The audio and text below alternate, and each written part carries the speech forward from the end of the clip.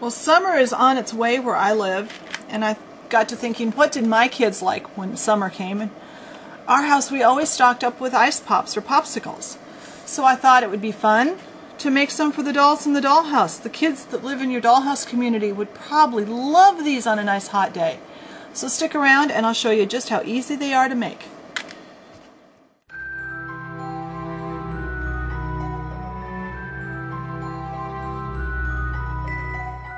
Alright, first let's talk about what we need. We need to make a mold. So we're using Amazing Mold Putty. We've used this before, it's a lot of fun to work with. You need some different colors of chalk. And this is a fun place to pull out all those bright colors of chalk that come in this big sets of chalks. We also need liquid polymer clay. And I've had the best luck with the liquid Fimo. I know this is hard to find. Um, the liquid Sculpey is easier to find, but I haven't had very good luck with Sculpey in this particular project. But if that's all you've got, give it a shot. You'll need some flat toothpicks, and for this project, you absolutely need the flat ones, not the round ones, because we need this little flat end. You'll need something to mix up your Fimo, your liquid clay with your chalks. I like just bottle caps. And to make a mold, you need some of these, or at least one, screwdriver bit, like goes in a screwdriver, like goes in your screwdriver so that you can change out. Some of the fun round shapes. We'll talk about this in a minute. And you'll need a baking surface and a work surface, a tile, paper plate, whatever you're comfortable using, and of course the oven to bake it off with. So stick around and I'll show you how easy this is. Right, our first step will be to make the mold to actually make our little popsicles in.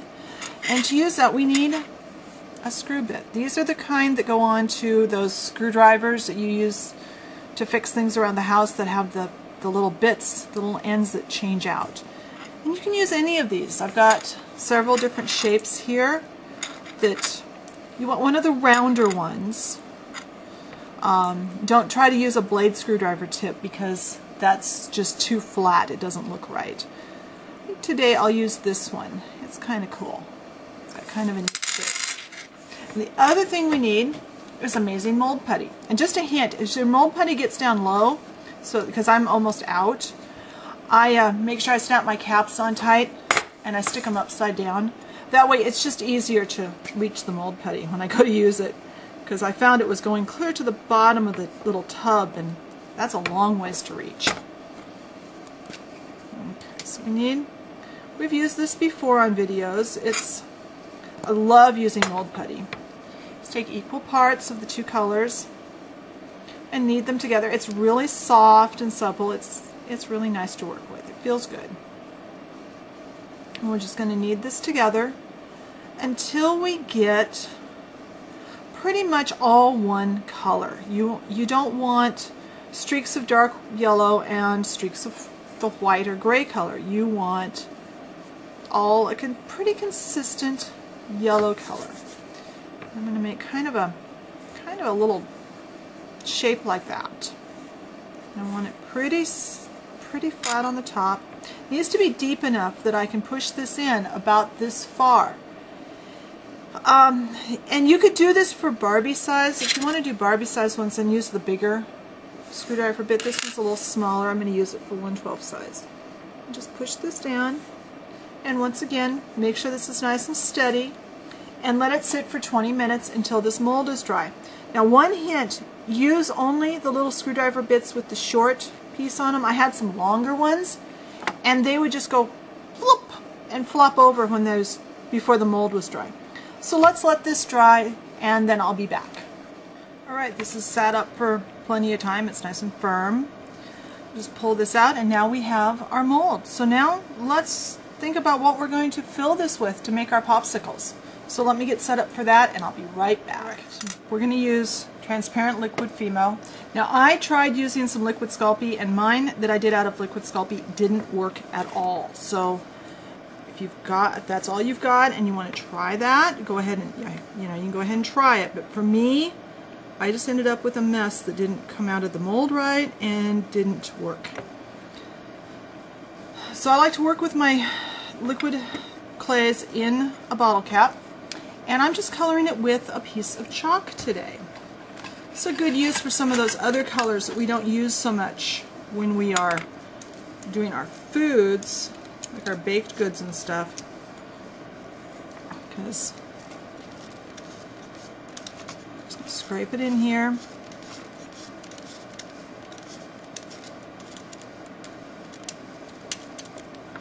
And we are going to stir it.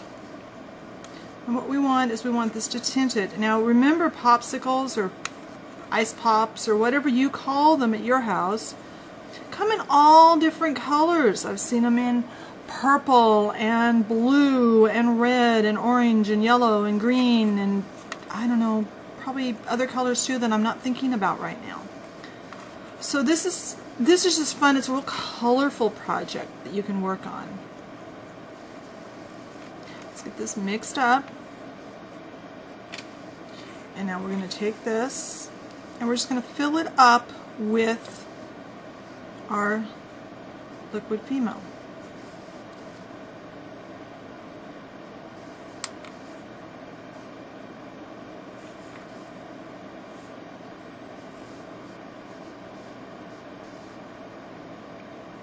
And we're going to try and get it up to the top.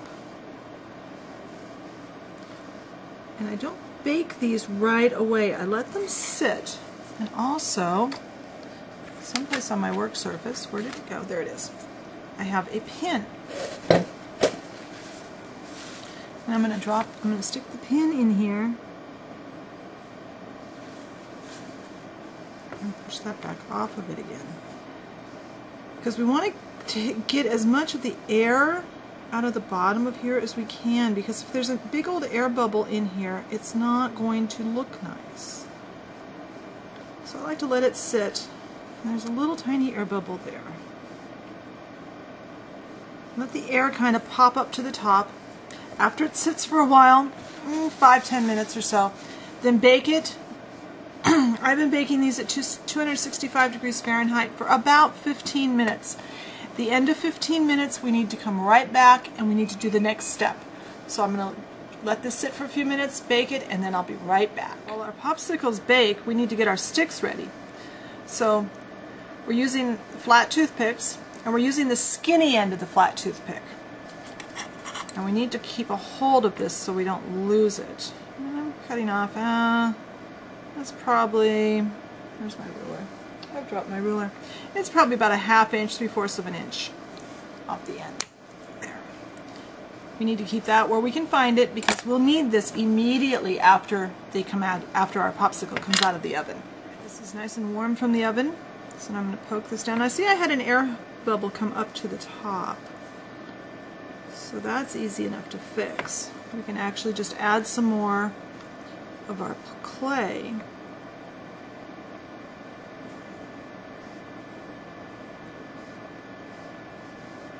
If you don't get an air bubble, you don't need to add more clay at this point. But since I have one,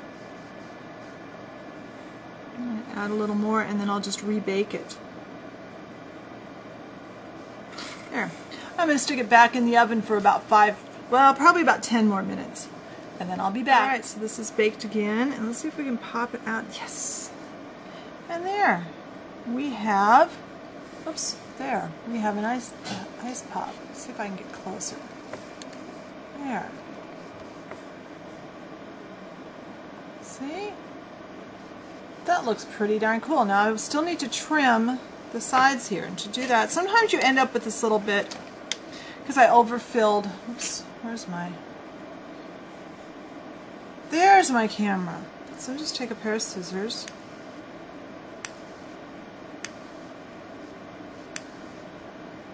And kind of trim it up, get it a little neater.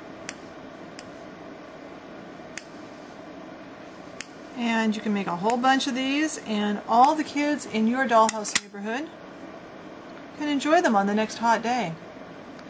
So I'm going to make some more of these. I've got some other shapes I can make and then I'll take a picture and I'll put it on the end of the video.